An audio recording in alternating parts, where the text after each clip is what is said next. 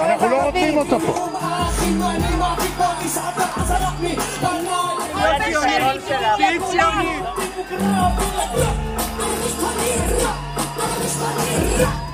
אומן פוליטי בהגדרה, אוקיי? הוא, השירים שלו הם פוליטיים והם טעונים במסרים שאפשר להבין, הם קשים לאוזן הישראלית.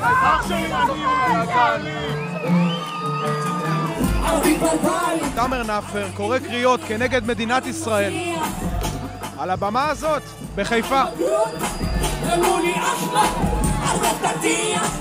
חושבת שלנו אסור לבטל את ההופעה, להפך, אם קשה לנו עם הדעות שלו, עם הביטויים שלו, אז צריך למחות, צריך להתבטא, יש דרך.